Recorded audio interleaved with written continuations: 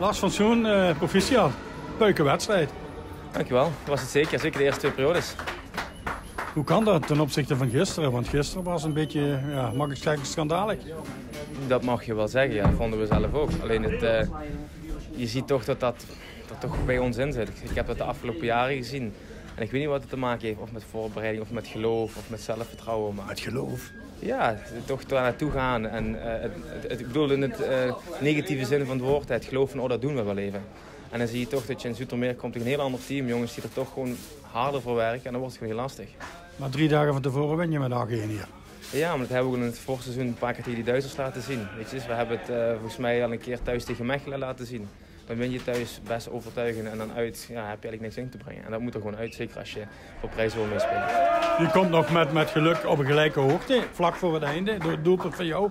Maar als ik dan zie hoe dat doelpunt valt in de overtime. Ja, maar... Weet je, te slapen? je speelt 3 tegen 3. Uh, mag er eigenlijk niet gebeuren. Er ging wat mis in de communicatie. Weet je. Dus je kunnen wel spelers aanwijzen nu, maar dan verlies je met het hele team. En uh, ja, we hadden eigenlijk gewoon de punten mee moeten nemen. En dan kruipen jullie de bus in, terug naar huis, drie uur reizen.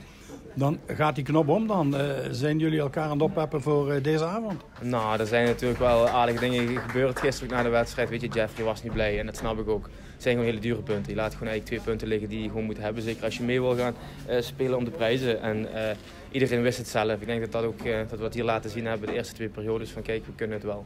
En dan gaat die mindset om naar vanavond. altijd een leuke tegenstander, uh, Herentals. En het gaat, begin is voorvarend.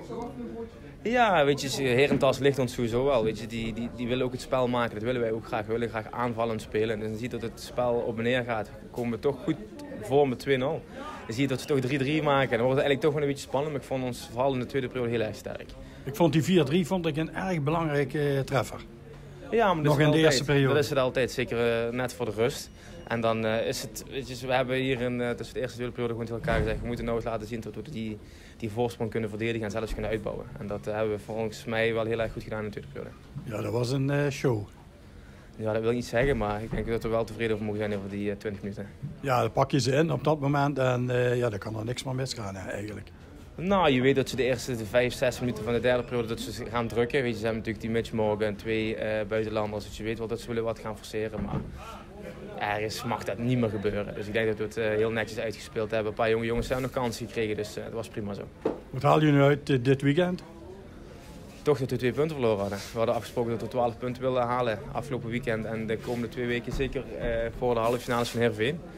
Dus dat, ja, daar zit wel een smetje op. Ik denk dat we goed hebben laten zien waar we, wat we kunnen. Alleen die twee punten zijn wel zuur. Stof tot nadenken dit, uh, deze week? Nou, ik denk dat het een harde, harde week wordt. Dat we uh, een beetje op ons donder krijgen de komende week. Maar dat is ook prima. En dan uh, hebben we Mechelen uit. En daarna een heel spannend weekend met Heerenveen. En daar willen we gewoon klaar voor staan.